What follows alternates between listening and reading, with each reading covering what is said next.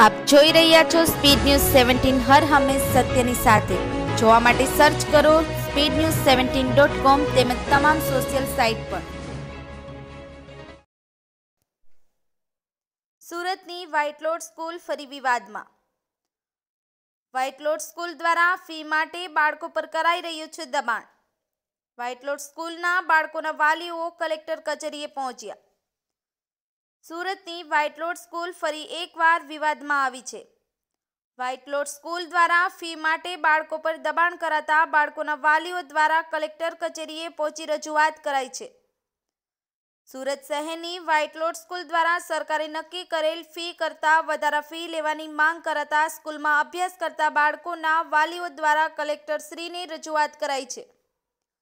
વાલીઓનો આક્ષેપ છે કે વ્હાઇટલોડ સ્કૂલ દ્વારા સરકારે નક્કી કરેલ ફી કરતાં વધુ લેવાની માંગ કરાઈ રહી છે. તથા સ્કૂલ દ્વારા ઓનલાઈન શિક્ષણ પણ બરાબર અપાઈ રહ્યું નથી તેવા આક્ષેપો સાથે વાલીઓએ કલેક્ટર કચેરીએ રજૂઆત કરી હતી. Speed news seventeen Surat.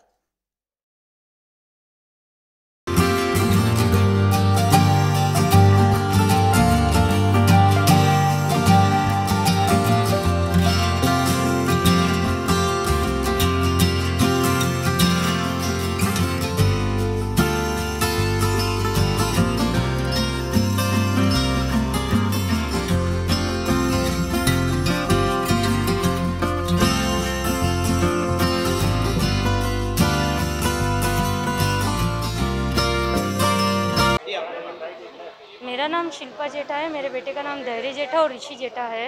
हमने स्कूल से चाहते हैं कि कोविड की वजह से जो हमको प्रॉब्लम्स आ रही है तो उसमें आप हमारा सपोर्ट करें। पर स्कूल वाले करने तैयार नहीं, हमारे बच्चों को मेंटली टॉर्चर करते हैं स्कूल वाले और हमारे बच्चों के ऊपर ध्यान भी नहीं देते हैं। वाइट लोटस इंटरनेशनल स्कूल में है हमारे बच्चे। हमारे हमारे आज दो दो सौ पेरेंट्स है, उसमें से हम हम लोगों ने पच्चीस पेरेंट्स को ही बुलाया, सिर्फ़ कोविड की वजह से देखते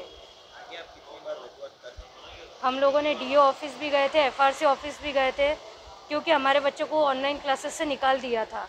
और हमारे बच्चों के पास ना कोई होमवर्क आता है बच्चों के पास में ना हम बच्चों को करवा पाते हैं। और हर पंद्रह दिन में हमारे बच्चों को स्कूल से ऑनलाइन क्लासेस से निकाल देते हैं। स्कूल वाले किस तरह का प्रेशर कर रहे हैं? स्कूल वाले इस तरह का प्रेशर कर रहे हैं कि हमको बोलते हैं कि फ़ीस भरो हमारे बच्चों को टॉर्चर कर रहे हैं वो। कि आप हम, आपके मम्मी पापा को बोलो कि फ़ीस भरेंगे तो ही ऑनलाइन क्लासेस में आप बैठ पाओगे तो ही एग्ज़ाम दे पाओगे।